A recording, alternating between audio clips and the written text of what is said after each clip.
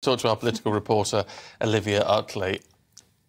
I mean, uh, as I was saying to Charlie, this should be done and dusted now, shouldn't it? I'm, I'm fed up of talking about this. I've got Partygate fatigue. Uh, it certainly should. And this, of course, isn't even the final report. This no. is simply the interim report. But its findings are pretty damning. And let's remember that this committee has a Conservative majority on it. And what it's found is a it's delivered this 23-page interim report showing four different ways in which it believes that Boris Johnson misled Parliament. Now, Boris Johnson had come up with some bolshy quotes on it, saying that it would set a dangerous precedent if he ended up being uh, removed from the Commons, which is now a really quite serious possibility because if the findings in the report are so damning that they warrant more than a 10 day suspension, then under House of Commons rules, uh, it would go to a by election if one in 10 people in his Uxbridge constituency, I think it's a given that there would be one in 10 people in the Uxbridge constituency who would want to see a by election, it would trigger one, uh, which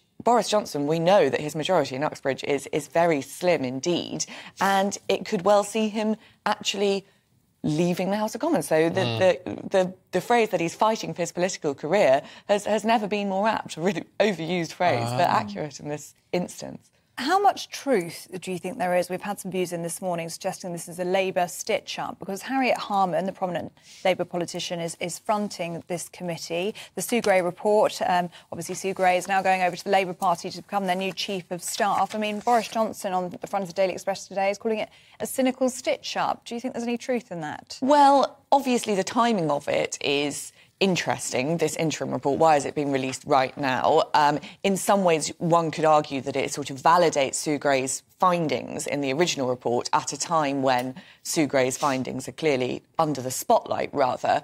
On the other hand, these select committees are made up of, it's not mm. like it's a, it's a straight Labour stitch up. It, as we said, there are, there's a Conservative majority on this committee. Yes, Harriet Harman is leading it, but there are plenty of Tory MPs in there, some of them real Johnsonites. Uh, so, so sort of to suggest that it is entirely a stitch up, I don't think would completely be fair. Also, some of those quotes coming out of the report sort of speak for themselves. You don't really have to imagine what the committee's own view on it is. There's a there's a quote from Boris Johnson saying in November 2020, "This must be the most unsocially distanced gathering in the UK," yeah. which does seem to speak yeah. for itself, rather. It does. Interesting, though, because I mean, with the with the Sue Gray appointment and everything else, people have said, "Why have, why has Labour done this now?" and what have you.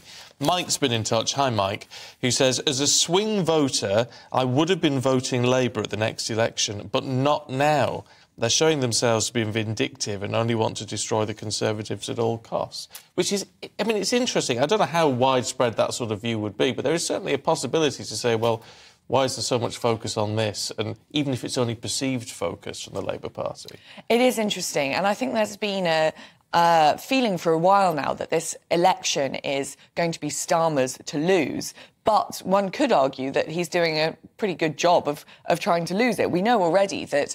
Uh, every week, Labour is beating the Conservatives in the polls by, by sort of up to 20 points, but sometimes even more. Uh, but Rishi Sunak, the gap between Rishi Sunak's personal popularity ratings and Keir Starmer's popularity ratings is actually very small. Starmer's leading, but Sunak's close behind. So it seems like Starmer's popularity is the thing which the Labour Party need to be working on. And whether this Sue Gray coup has helped Starmer's reputation, well, there's a certainly a question mark over that. Mm. Mm.